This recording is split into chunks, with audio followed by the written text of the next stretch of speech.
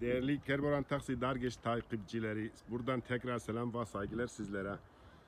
Biz bugün e, dar geçitimizi sizlere tanıtmaya çalışacağız. Dar geçit e, nerededir? Hangi bölgede? Dar geçit Güneydoğu bölgesindedir. Mardin iline bağlı Dar geçit ilçesidir.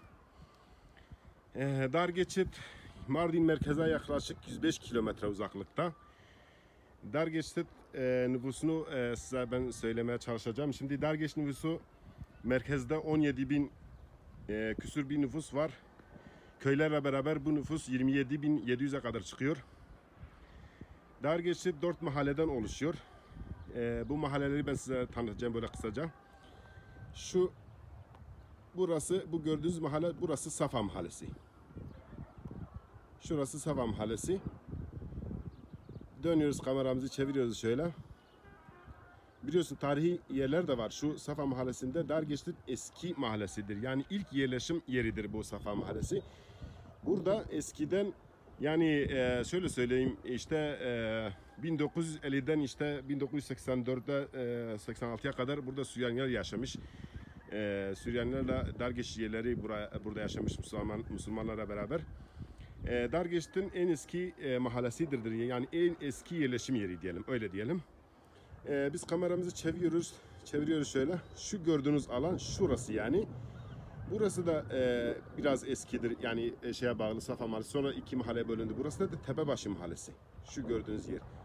Şöyle uzaktan biraz yakınlaştırayım böyle. Burası da Tepebaşı, e, Tepebaşı Mahallesi. Biraz daha ileriye gidiyoruz böyle.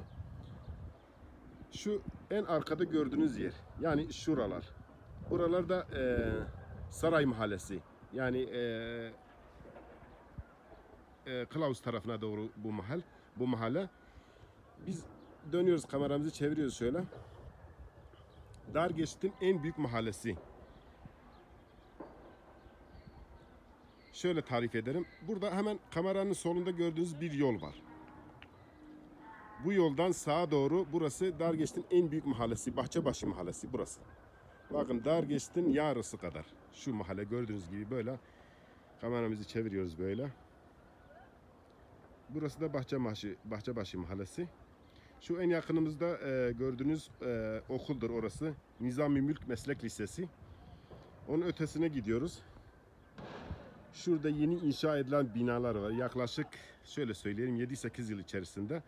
Burası da aşağı yukarı bir mahalle olmuş. Burada e, gördüğünüz gibi şu mavi bina okuldur, lisedir. Ee, burası da tabii ki Bahçebaşı sayılıyor ama e, en yakın zamanda bura mutlaka da bir mahalle olur. Dergeç'e 5. mahalle eklemiş olur. Ee, orası da güzel aslında. Burası Midyat yönüne bağlı e, bakan bir e, mahalledir. Şu anda Midyat yönünü gösteriyoruz sizlere. Dargeç'te dediğimiz gibi e, tabii ki Dargeç'in e, merkezi haricinde köyleri de var. Biz köyleri şöyle size tanıtmaya çalışacağız. Buraya en yakın köy ee, karşımızda duman çıktığı yerde bir köy var. Bilmiyorum tam şurası. Burası bu köye kadar 2 kilometre. Ee, onun dışında şu gördüğünüz yol burasıdaki e, bir köy 3,5 kilometre civarında. Dönüyoruz kameramızı böyle çeviriyoruz. Şu gördüğünüz yol bak. Dargeç'ten direkt kıble tarafına yönelen bu yolda Kısmetli köyüne gidiyor. Kısmetli köy yaklaşık 5 kilometre Dargeç'ten uzaklıkta. Tam arkada da yüksek bir şey gözüküyor. O da dar, e, kısmetli köy su deposudur. Orası da köy de gözüküyor aslında. E, hafif bir duman da yükseliyor ileriden. E, şöyle çeviriyoruz kameramızı. Kılavuz köyü. Buraya 8 kilometre uzaklıkta gördüğünüz gibi şurada bir yol gözüküyor. Burası da direkt Kılavuz'a gidiyor. Onun ötesinde Bostanlı var. Yani çok köy var ama e, ben e, nasıl söyleyeyim size şimdi isimleri tam onlar hepsi aklıma gelmiyor. İşte Ilısu köyü, Yoncalı, işte Karabayır, e, Temelli, işte bu tarafa doğru şu yola döndüğümüz zaman burası e, bir deredir. Şu iki tepen arasında Navala Aşağı diye geçiyor. Bu tarafta da yaklaşık bir 10 köy var. İşte Korucu köyü, Orman içi, Gürgen köyü, işte Suçatı, ondan sonra... ee, şey var orada tam hatırlamıyorum kusura bakmayın aklıma gelmedi. Orada bir Gere de var. Gere'nin ismi Altınoğlu köy pardon. Evet aklıma geldi. Yani çok köy var dediğimiz gibi. Ee, Dargeç'in tarihi eskidir. Tarihini tam hatırlamıyorum ama yaklaşık e, 400-500 e, yıla dayanıyor tarihi. Çok eskidir. Dergeç'in eski yerleşim alanı dedik sizlere burasıdır. Buranın eski bir çarşısı da var. İleride inşallah onu da sizlere göstermeye çalışacağız. O çarşıyı da gezeceğiz. Şu an e, faal değil o çarşı ama eskide Süryanilerin döneminde orada işte okul e, bir tane kahve var eski çok kahvesi işte e, bildiğimiz menzefe köprüler gibi bir şeyler var işte es- e, kilise var orada. E, kiliseyi de buradan tam biraz uzak kaldığı için tam seçemiyorum ama özür dilerim. Bura iyice baktığın zaman burada o beyaz binanın hemen arkasında kilise gözüküyor.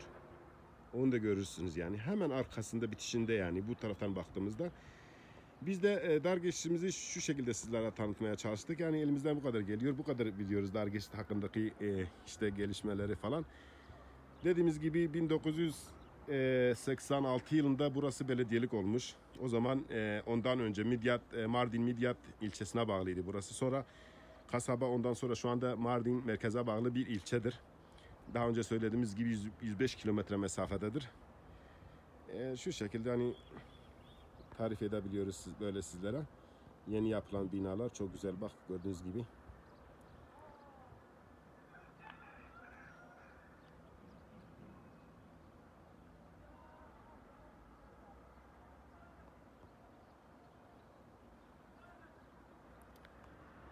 Değerli takipçilerimiz için biraz bilgi vermek istiyorum. Bizi takip etmek için Facebook üzerinden Kerboran Taksi Dar Geçit yazarak sayfamıza giriş yapabilirsin. Ayrıca YouTube'da Dar Geçit Taksi yazarak orada da videolarımız var. Orada da takip edebilirsiniz. Ayrıca Instagram üzerinden Dar Geçit Taksi yazarak bizi her 3 yayınlarında bizi izleyebilirsiniz. Yayın organlarında işte sosyal medyadır bunlar zaten biliyorsunuz. Buradan bizi takip edebilirsiniz. Biz de sizler için elimizden geleni en güzel şeyleri yapmaya çalışacağız. Ben buradan tekrar herkese, bizi izleyen herkese saygı ve selamlarımı sunuyorum. Unutmayın. Buradan ayrıca taksi numaramızı da vermek istiyoruz. Ee, telefon numaramız 0531 676 10 10 0 pensat usu yak şasad o hafte şaş deh deh. Jibir nakin kan ve e, rakamları devamlı bana tekliye çekin. Bu numaradan değerli bize her zaman ulaşabilirsiniz. İle, görüşlerinizi, isteklerinizi bize iletebilirsiniz. Biz her zaman sizlere cevap vermeye hazırız. Şimdiden herkese sevgi ve selamlar. Hoşçakalın. Kendinize iyi bakın. Başka bir videomuzda görüşmek üzere. Esen kalın diyorum.